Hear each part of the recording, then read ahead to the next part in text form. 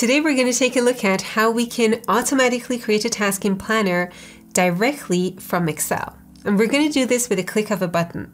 So for example, here I have a list of tasks and some of these should be converted into separate tasks in Planner. I just need to select them, click a button, and they land as separate cards in Planner. Now this is actually quite fun and easy to set up, so let's do it together. Here I'm in my plan in Planner, it's called Training Topics, and I have four separate buckets. So in addition to being able to add tasks manually to this, what I want to do is collect the tasks in an Excel file, and then for the tasks that I want to add to the planner, just highlight the rows and click a button and send these to Planner. In this Excel file, I have three columns. One is for vote, where the employees can vote for a topic they want to create a training out of, and then the details of the topic. Now, how would this look in Planner?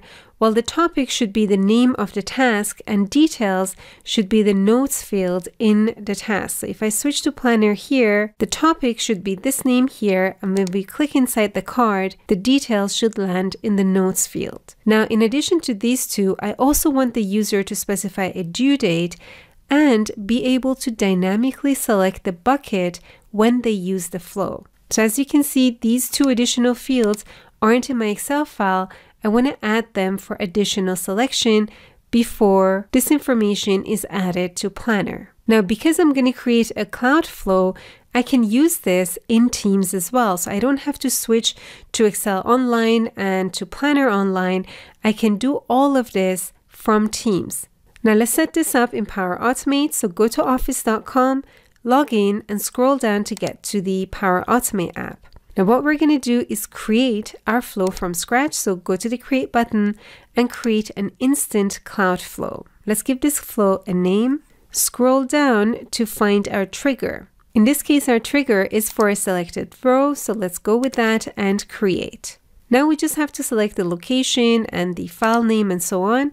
In this case, my file is in OneDrive, but you can also have yours on SharePoint. So just select the right location. Document library in this case is OneDrive. And now we can browse for the file. Mine is sitting right here. Now when I click on this drop down for table, I'm going to see the table names in my file. That's the table name I have. It's called table train. We can double check if I switch to my Excel file here under table design, the table is called table train. And now remember, I have three columns here, vote, topic, and details. I don't need the vote inside the card. This is just the information I'm collecting on the Excel side. It's only these two columns that I want to land as a card in Planner. And remember, I wanted some additional input fields. So let's go ahead and add them in. Let's select a date first. The name, I'm just gonna go with date and let's change this to please enter a due date. Now, ultimately, I also want to add an input for the selection of the bucket, but that's a little bit more complex, so I'm going to leave that for the end. Next, what we want to do is add our action step. This action step is going to be for Planner because once we've selected the row, we want to create a task in Planner, which is right here. What we need is the group ID for the task. Mine is Finance. The plan ID, well, the plan ID in my case is Training Topics, and now the title. This is the title of the task. So remember, in my Excel file, the title is the topic column. So let's go back, and this time we're going to go with dynamic content. We want it to be based on whatever we've selected in this row. So if I scroll down, I should see my topic and it's right here. Let's select that. Next is the bucket ID. This isn't mandatory, I can leave it empty, and Power Automate is just going to add a separate bucket to the beginning of the plan. Ultimately, I want this to be based on user selection, but for now and for our testing, let's just select Other. Next, I want to add a start date time and a due date time. For the start date time, this is just going to be the timestamp at the moment I run my flow. To get this to be dynamic, I'm going to use an expression. The expression is UTC now, just open bracket, close bracket. This is similar to the now function in Excel and click on OK. Next, the due date time. Well, this is something that the user is going to select here. Remember, I called it date. That's what I want to use. I want to use dynamic content and I want to select date from here. Now, if you don't see the dynamic content here, no worries. Just type the name in. You're going to see it and then select it.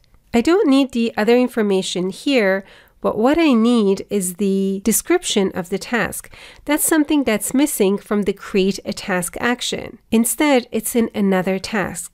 So once I've created the main task, what I want to do is go back to planner and update the task, but not just the task here.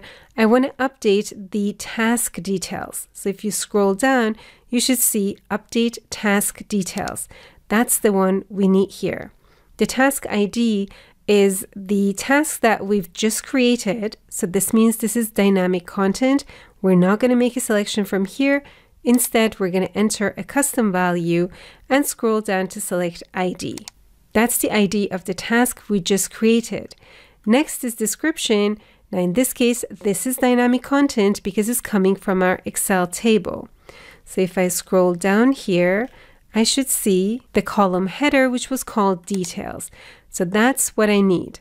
Now I can add a lot more information to this, but in my case, I don't need it. So I'm going to click on save and my flow is ready to go. Let's go ahead and test it now.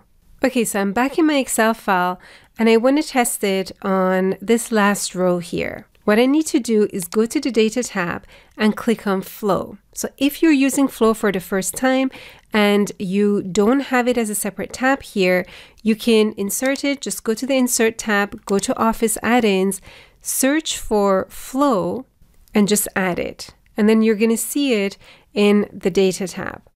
Now remember, I'm in Excel online, but you can do all this from Teams directly as well. So from your Teams on your desktop. Now I haven't selected the entire row and you don't have to do that. You just have to click somewhere in that row, then go to flow, and then you're going to see the name of the flow that's associated with this file, which is this one, the one we just created. Click on run. Now if it's the first time you're running this, you just have to make sure you're signed in. So in this case, I am. I'm going to continue. Now here's the date selection. It's asking me to please enter a due date and I can click on this calendar icon and select my due date. I'll go with 25th of March and let's run the flow and done. Now let's go back to planner and see if this is added. Remember the bucket that I selected was the other bucket, so it should pop up here. Let's go ahead and refresh this page. Let's scroll over and I can see mug production here. It has the due date I selected and the details are in the notes field. So everything works great so far. Let's also try this out in Teams. This way, we don't have to open separate tabs and jump around. We can work directly from within Teams. Here I'm in Teams for Desktop. I'm in the training channel and I've already added a planner tab here. It's called Training Topics and I can see the current trainings that we've added to this. Now I want to run this directly from within Teams. So let's go to the Files tab. Here I can see my OneDrive files. That's the file I was just using. Let's try this on another topic. I'm going to go with management skills here. Let's go to the data tab. To get there, click on this drop down, go to data. I see flow right here. It should recognize the flow that's associated to this file. That's the one. Let's run this. Add a due date for this and run the flow. Now we should see management skills added to the other bucket in our planner. So I'm going to switch back to training topics. Let's go to the side here and we already see this added. Okay, so using this from within Teams has the advantage that you don't have to shift between the different applications. Now let's do the last part of making the bucket dynamic. We want the user to select the bucket and our training topic is going to end up in the correct bucket. I'm back in my flow. Let's go ahead and update this. For a selected row, I'm going to add an input a text input. This time though, I want it to be a drop-down list. So let's go to more options and select add a drop-down list of options. Here I can add in my bucket names. One was personal development, another was operations, skills, and other. So if I switch back to planner, we can see operations, skills, other, and the first one is personal development. Okay, so so far so good. The field is called input. Here's the tricky part. It would be great if I could just go back to create a task and for bucket ID, change this to dynamic content and then select my input field. But the problem is that it doesn't need the name, it needs the bucket ID. So when we're in the drop down here, we can see the names, but in the background, Power Automate is giving the bucket ID to this field. Now, if we just had a drop down with bucket IDs, we could go with that, but no one is going to recognize what the bucket ID stands for, so we need to go with names. So the way I got around this was to figure out the ID from the name that the user selected. That needed a few additional steps. One step is to get a list of existing buckets. So we're going to go back to Planner here and list the buckets. What this does is it provides an array that includes the bucket name and the bucket ID. All it needs is the group ID, in my case it's finance, and the plan ID is training topics. Now that I have this array, I can loop through each and check the name of the bucket with the name that the person just selected here.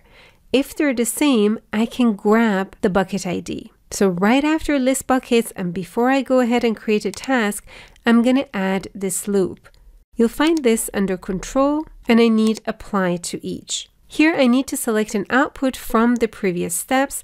In this case, I want to get my array back that I generated under list buckets. So I'm going to go with dynamic content and select value. Next, we're going to add an action this action is again a control action, but this time it's a condition. I'm going to check if what the user selected, so remember that field was called input, if what they selected is equal to the name of the bucket from this array here, which is right here, the name of the bucket, its value, name. That's the only condition I need here. If it's a match, I'm going to add an action here.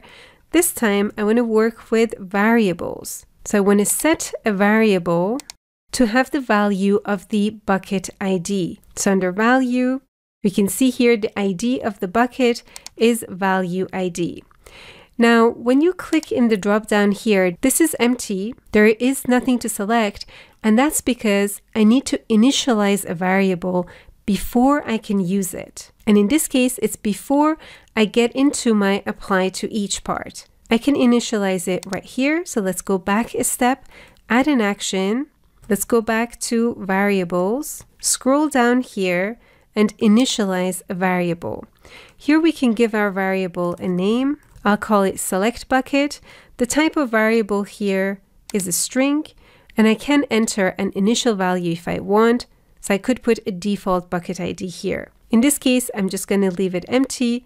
Now go back to apply for each under condition for set variable, now when I click on the drop down, I can see my variable and I can select it. I'm not going to put anything in the if no part. Now that I have the value ID, so I have the ID of the bucket, when I go ahead to create the task, I can now use dynamic content here. That dynamic content is my variable. Select bucket, and that's it. Now let's save this and let's test it out. So I'm going to test it directly from Teams. Let's go back to the file. This time I'm going to run it on multiple rows. So for Excel, PowerPoint, and Power Automate, all of these have the same due date and they need to end up in the same bucket. So I'm going to select them, go to the Data tab, go to Flow, let's run the flow, select our due date, I'll go to April, April 14th, now I'm also going to select my bucket. Now you can of course rename this to bucket. I forgot to do that. In this case, I want to send these to skills and that's it. Let's run the flow. It's done. Let's switch to planner. I'll go to the right channel. Under skills, I get my three tasks created. Each of them include the correct due date and the notes that are in my Excel file.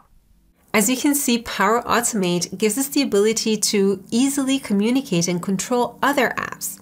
Now, we don't need to learn how to write code, we just need to specify what we want.